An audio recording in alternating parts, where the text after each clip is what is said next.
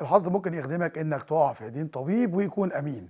ياخد بإيدك للشفاء واقف معاك ما هو عنده دين ما يستغلش حوجتك ويسكتك لو جيت تقول له هروح لفين؟ بالعكس يمسح دمعتك ويطمنك ما يرضهوش تكون حزين. هواء جديد لبلطو أبيض. في أهلا بكم الكرام في حلقة النهارده. هنتكلم عن آه، أمراض الألم. هنتكلم عن خشونة الركبتين ومشاكل وآلام العمود الفقري مع اثنين من أروع الأطباء في هذا المجال في مصر والشرق الأوسط.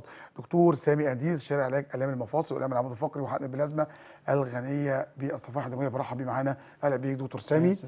كمان بينورنا كمان الجميل دكتور يوسف سراج الدين استشاري العظام والكسور وعلاج الام المفاصل والام العمود الفقري. برحب بيه معانا يا دكتور يوسف. أهلا وسهلا بيك. أهلا وسهلا مشاهدينا الكرام يمكن بنقدم النهارده لحضراتكم في قصر الشفاء جرعة شفاء هتاخدوها معانا النهارده. يمكن هذا المركز على مدار سنوات أكتر من سبع سنوات موجود في مصر. بفضل الله عالج آلاف الحالات في مختلف المحافظات.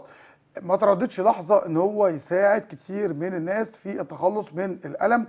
آه، طور من نفسه السبع سنين اللي فاتوا البروتوكول اتغير في علاج آلام الناس سواء مشاكل الخشونة أو مشاكل العمود الفقري وقدروا يطوروا من البروتوكول الخاص بيهم استحدثوا حاجات وشافوا آه، بره بيعالجوا الناس إزاي واستحدثوا هذه التقنيات وبقت موجودة عندنا في مصر. الحمد والشكر لله علشان نساعد كتير في اتخاذ قرار الشفاء من الألم. ألم الخشونة وألم العمود الفقري. هبدأ مع دكتور سامي سريعا. ناخد منه نبذة سريعة. في السبع سنين اللي فاتوا كنت بتعملوا إيه؟ في مشاكل الألم الخاصة بالركبه أو العمود الفقري. ودلوقتي إيه الجديد المستحدث علشان نطمن الناس اللي بتشوفنا النهارده؟ بسم الله الرحمن الرحيم. هو طبعا آلام العمود الفقري وآلام خشونة الركبتين كانت زمان يعني للأسف كان المريض يعيش على مسكنات. والمسكنات دي كان لها تأثير قا- قاسي ومؤذي جدا على المعدة والكلى وبعض الناس يعني كان ممكن من كتر ما بيزود الجرعة لأن المسكن النهارده الجسم هيتعود عليه فهيعوز يزود الجرعة وهيبدأ الجرعة تكبر جدا بتوصل لحالات إن كان ممكن خلاص وظائف الك- الكلى هتبدأ تتغير المعدة الحموضة تزيد جدا يبدأ جدار المعدة يتأثر أو والعياذ بالله ممكن مريض دخل على قرحة معدة اللي ممكن تنفجر في أي لحظة لأن دي ال ال كان الغشاء المخاطي اللي كان بيحمي المعدة اختفى وضاع وتأثر بسبب المس- المسكنات اللي هي مواد كيميائيه كمان وظائف الكلى تبدأ تعلى جدا ممكن مرة واحدة تلاقي المريض دخل في فشل كلوي ودي بنشوفها كتير. فكانت دي الفترة آه، زمان كانت الناس عايشة على المسكنات كان بعض الناس ممكن آه، يتعمل له آه، حقن كورتيزون في الركبة لحد ما ظهر فكرة ال- الجيلاتين والمادة الس- بدأت تدي نتائج إنها تقلل الإحساس ال- الاحتكاك شوية بس لها فترة وبتختفي. لو الخشونة متقدمة جدا ما بتعملش النتيجة لأن الركبة أصبحت عظم خلاص الغضروف انتهى تماما.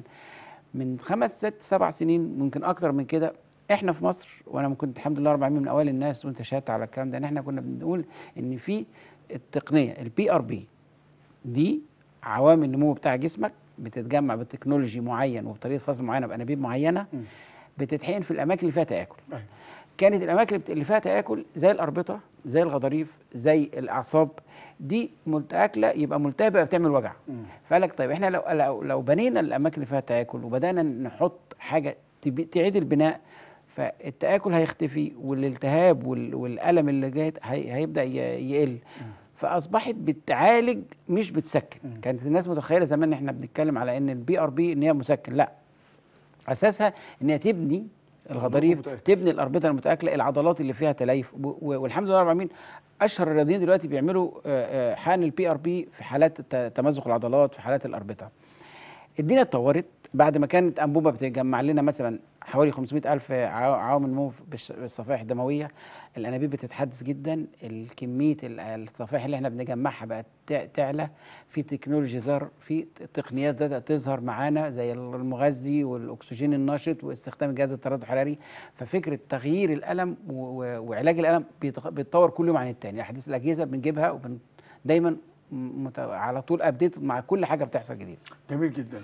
الكرام حلقتنا فيها كتير من الجرعات جرعات الشفاء. هتشوفوا النهارده ناس إن شاء الله تطمنوا بعدها إن قرار الشفاء من الخشونه أو الألام سهل وبسيط بس إحنا ناخد المبادرة ونيجي. محافظات مصر كلها بتستقبل قصر الشفاء في كل مكان بفضل الله. اسمحوا لنا نطلع لفاصل صغير وكان نكمل كلامنا. خليكم معانا في حلقة جديدة من بلطو أبيض.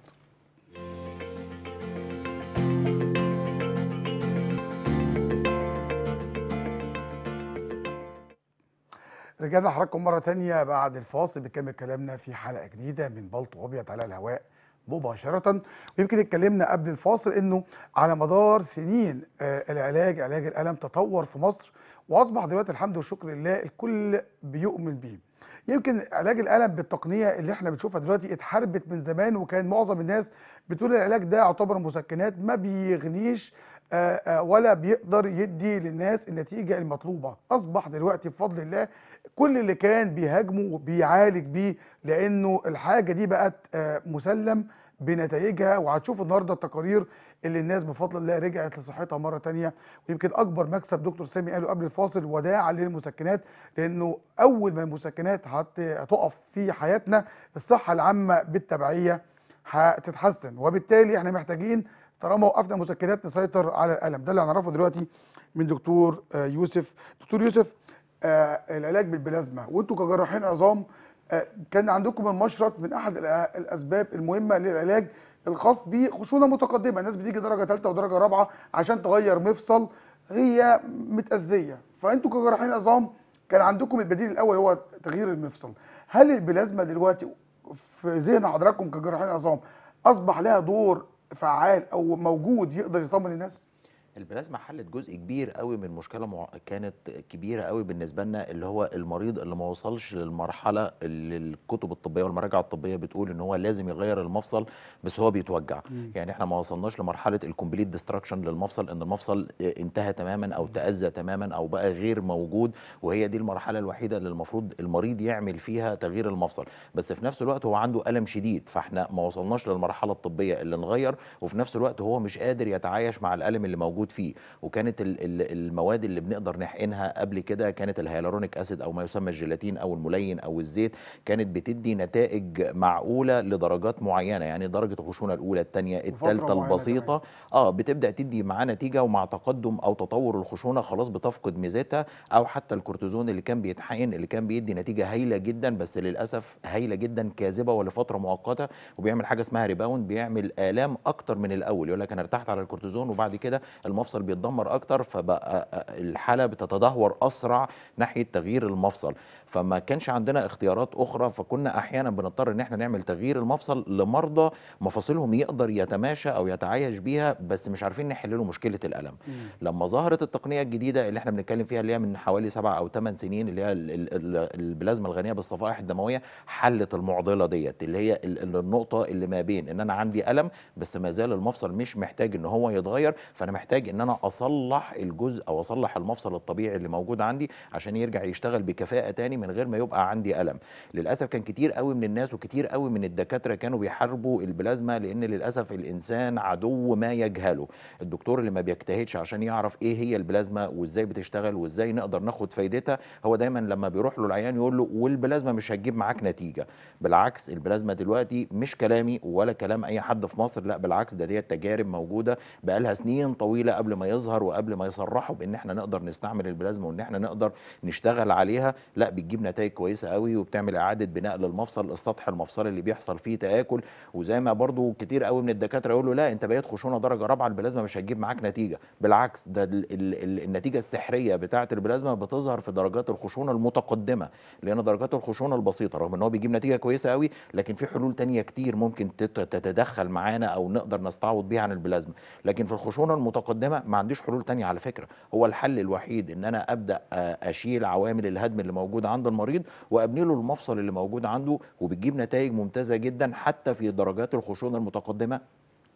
اللي بيبقى جاي المريض فيها يائس وكل الدكاترة قبل ما يجي لنا قالوا له لا مش هتنفع أي حاجة هتحاول تعملها غير تغيير المفصل مش هتجيب نتيجة. مع العلم إن نتائج للأسف تغيير المفاصل في مصر خاصة مش حلوة خالص. آه اختيار المريض ما بيبقاش كويس تجهيز المريض قبل وبعد الجراحة بتخلي النتائج بتاعته وحشة جدا. وشفنا كتير قوي مرضى عملوا مفصل ركبة في ناحية من الناحيتين يعني يمين أو شمال بدأ بيها وما كانش مبسوط وكانت النتائج وحشة قوي وبدأت الناحية الثانية كان المفروض إن هو متخطط إن هو يعمل الثانية بس من كتر القرف والتعب اللي شافه في الناحية الأولانية اللي عملها قرر إنه ما يعملش الثانية ولما جه وعمل البلازما اكتشف إن الموضوع كان بسيط والموضوع آه كتير قوي عندنا في الكلام ده بيطلع من دكتور جراح. ما هو يعني أنا عشان وهو أنا عشان جراح. دي حاجة دي حاجة دي حاجة مفيدة جدا. بالظبط. عشان جراح أستعمل المشرط في المكان الصح والوقت الصح. أنا ما قلتش إن المفصل ده حاجة غلط بس أستعمله في الوقت الصح والمكان الصح لكن لو أنا عيان مش محتاج وأعمل له مفصل أنا شفت مرضى شباب صغيرين خشونة من الدرجة الثانية أو الثالثه البسيطة وراحوا لأربع خمس دكاترة وكلهم بيجمعوا على إنه محتاج مفصل. طب حرام أنا في السن الصغير دوت والخشونة الدرجة البسيطة ديت إن أنا أغير له المفصل ليه؟ أنا أقدر أصلح المفصل اللي موجود دوت ويعيش بيه 20 30 سنة كمان وما يحتاجش إن هو يتعرض لجراحة كبيرة ولا مشكلة كبيرة زي تغيير المفصل. طيب اسمحوا لنا نبدأ آه، حلقتنا بجرعة. جاهزة من جرعات الشفاء. نسمع فيها معلومة ونكمل بيها رحلة آه، حلقة النهارده في بلط أبيض. خليكم معانا. لسه جرعات الشفاء معانا كتير جدا جدا جدا. كلها تفاؤل. كل الناس دي آه، موجودة في بيوتنا. الأم موجودة في بيوتنا والأب موجود آه، في بيتنا. تعبوا وعملوا اللي عليهم وقضوا آه، واجبهم ناحيتنا. وآن الأوان نرد الجميل إن إحنا ناخدهم آه، من إيديهم زي ما هم كانوا بياخدونا وإحنا صغيرين من إيدينا علشان نوصلهم لبر الشفاء ونديهم جرعة شفاء في قصر الشفاء. دكتور يوسف هروح معاك لسؤال مهم جدا. قالته أحد المرضى في التقرير اللي فات في الجرعة اللي فاتت وهي إن اتحقنت بلازما كتير بس ما جابتش نتيجة. هل هي يعني معنية بالكلمة واثقة في الكلمة أو معبرة عنها جدا. وإيه المميز في قصر الشفاء؟ يخليها انبسطت وجت عندنا. دي برضو نقطة مهمة قوي إن مش كل حاجة آه، آه، تبقى بلازما هتجيب نتيجة.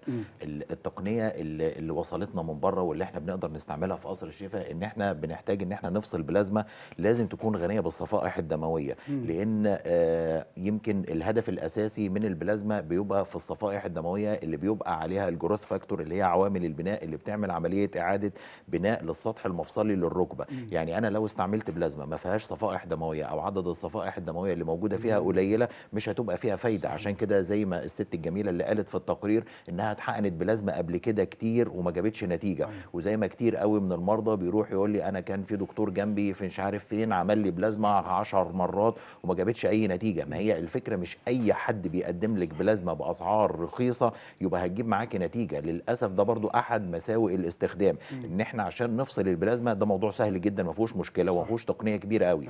لكن عشان؟ أفصل بلازما غنية بالصفائح الدموية. عشان كده كل الأبحاث العلمية اللي موجودة دايما بتتكلم على ال PRP platelets rich plasma البلازما الغنية بالصفائح الدموية وليست البلازما ال- ال- ال- الفاضية. لا لازم تبقى بلازما غنية بالصفائح الدموية. وعشان كده زي ما الدكتور سامي قال دلوقتي إن إحنا لما بنغير الأنابيب وبنعمل العد إحنا كان بيبقى كل هدفنا في التركيز على الصفائح الدموية لأن كلمة العد اللي إحنا بنقول عليها اللي كانت الأنابيب من فترات كانت بتدينا حوالي 500 ألف دلوقتي وصلنا لغاية الأنابيب الجديدة بتدي مليون و800 ألف. فده رقم كبير جدا. فبدل ما انت تحقن 10 مرات بانبوبه ما فيهاش صفائح دموية أو التركيز بتاعها قليل لمجرد ان انت تقلل التكلفة اللي انت بتديها للمريض. ما هو أنا بديك مثلا بربع الثمن أو بتلت الثمن بس انت ما بتستفيدش بيها. لكن لما أنا اعملها لك البلازما الصحيحة اللي مكتوبة في الكتب اللي المفروض تجيب النتيجة بتاعتك ممكن تبقى تكلفتها اعلى شوية بس لما تيجي تحسبها ان مرتين ثلاثة من البلازما ديت هتبقى احسن من 10 من البلازما اللي ما فيهاش ونفس نتيجة. التكلفة اللي هتدفعها هنا هي هنا بالظبط. بالظبط. فاحنا بنبقى الهدف إن البلازما هل هي مختلفة من مكان للتاني؟ آه of sure بنسبة مليون في المية في بلازما بتبقى كويسة وبتجيب نتائج وفي بلازما كأنها مية تماما ملهاش أي فايدة. فكرة إن إحنا آه عندنا معمل خاص بينا بيقعد يعمل أبحاث وعنده أجهزة وعشان يقعد يغير الأنابيب ومش كل مكان هيجيب لنا الأنبوبة يقول لنا الأنبوبة دي حلوة لأ إحنا مش هناخدها واجرب في الناس أنا باخدها وبنعمل إحنا ال ال ال ال ال العد بتاعنا على الأجهزة الحديثة اللي موجودة عندنا في المركز إن إحنا بناخد من مريض ثابت ونحطه في الأنبوبة دي والأنبوبة دي والأنبوبة دي وبعد كده نعد الصفائح بتاعتها لغاية ما نوصل لأعلى تركيز وبعدين الموضوع مش بسيط مش هي أي حاجة هحطها وهعرف أفصل بيها بالعكس ده أنا لو عملت الفصل لمده أطول بكسر الصفائح الدموية. صحيح. لو عملت سرعة في الفصل أعلى شوية بكسر الصفائح الدموية. ففكرة إن أي دكتور يجي ويروح جاي عامل يقول لي عندي بلازما البلازما اللي عندك شكلها إيه؟ ده دي حاجة مهمة قوي دلوقتي بقى موجود الحمد لله كتير جدا بيتكلموا على البلازما بس هل البلازما اللي موجوده عندهم هل الرخيصة ديت كويسة؟ يعني أنا لما أروح أجيب حاجة رخيصة وأحقنها هل هستفيد بيها؟ ممكن لأ. زي ما الست الطيبة اللي طلعت معانا وقالت أنا حقنت بلازما كتير قوي قبل كده وما جابتش نتيجة. لكن لما جت قصر الشفا وحقنت عندنا يمكن من المره الثانية الأمور بقت أحسن كتير واتحسنت. تمام. طب معايا دقيقتين حظك بقى. اختم فيهم بقى. هو أنا كان كان نفسي طبعا أتكلم موضوع مهم قوي قوي قوي هو الام العمود الفقري. إنما كان عندي امبارح في المنصورة حالة بت بتلخص الموضوع ده كله. بتشتكي من ظهرها توجع جدا لما تمشي مشاوير نازل على فخدها بآلام رهيبة مش بتنام من الوجع. راحت وعندها انزلاق غضروفي جاي على الجنبين وملمس جذور الأعصاب وعامل لها التهاب جذور الأعصاب. راحت للجراح قال لها عمليه جراحية. ما استفادتش واتوجعت آه، آه، آه، عملت كمان عملية تانية وعملية ثالثه وعملية رابعة. وجت بعد ما اشتكت قوي والدكتور قال لها أنا عمليتي ناجحة والكلام ده فعلا بيتكرر كل يوم. أنا عمليتي ناجحة روحي لدكتور الألم. آه. طيب يعني ببساطة كده. ما كان الأولى بقى ما اللي عنده. ألم في ظهره وما عندوش أعراض شلل والعياذ بالله مم. ما يعملش عملية جراحية. أنا مش بقول إن الجراحة وحشة لكن الجراحة مهمة لما يبقى المريض محتاجها. مم. ما انت طالما جاي لي جاي لي ما في- تجي لي من الأول. في ست خطوات في علاج آلام العمود الفقري والانزلاقات الغضروفية ومشاكل العمود الفقري بتقنيات حديثة جدا وبأجهزة التردد وبأجهزة الحقن وبالأشعة التداخليه علشان أنت ما تعملش عملية والوجع يروح. أنا مسؤول عن الكلام ده أمام الله سبحانه وتعالى. اكشف. واعرف انت عندك إيه وخد قرارك. انما ما تبقاش عامل أربع عمليات جراحية وجاي تقول اصل أنا عايز اخف. لا ده انت فعلا اذيت نفسك. وقلت لها احمدي ربك انك ما جالكيش اعراض شلل من واحدة من العمليات. فالام العمود الفقري محتاجة حلقة أو اثنين وثلاثه عشان نفهم الناس يعني انت مش محتاج عملية وازاي نعالجك. النقطتين دول مهمين جدا. والدكتور يوسف بيقعد يتكلم في القصة دي بالربع ساعة علشان يفهم المريض انه ما كنتش محتاج العملية الجراحية. أيوة. إن شاء الله في أقرب فرصة. الناس اللي بتشوفنا دلوقتي سواء لسه مقدمة على عملية جراحية أرجوك اقف خد قرارك وتعالى قبل العملية الجراحية. واللي عمل عملية جراحية أهو اللي حتى اللي عمل عملية الدكتور بتاع العملية قال له بقى روح لدكاترة الألم عشان يخلصوك من الألم. أنا بالنسبة لي براءه في العملية الجراحية. وبالتالي كان أولى بيك إنك ما تلجأش إلى المشرط لما في طريق ثالث منتصف ما بين المسكنات وبين العملية الجراحية. اسمه طريق علاج الألم موجود في قصر الشفا. يا رب آه، تكون حلقه النهارده نالت. اعجابكم بشكر في النهايه دكتور سامي عديد الشرعي أول علاج آلام المفاصل آلام العمود الفقري وحقن بلازما غنيه بصفحه دماغ بشكرك نورتنا شكراً. بشكر كمان الجميل دكتور يوسف سراج الدين استشاري علاج الكسور والعظام وحقن بلازما غنيه بصفحه دمويه وعلاج الألم بمركز قصر الشفا نورتنا يا دكتور. شكرام يا رب تكون جرعات الشفا النهارده نالت. اعجابكم وتاخدوا بعدها قرار الشفا محدش عنده حجة إنه يتعالج ويخلص نفسه من الألام ويعيش حياته مبسوط بدون ألم. كنت معاكم أحمد الشاعر. بشكر كل فريق العمل. ونشوف حضراتكم على خير ان شاء الله السلام عليكم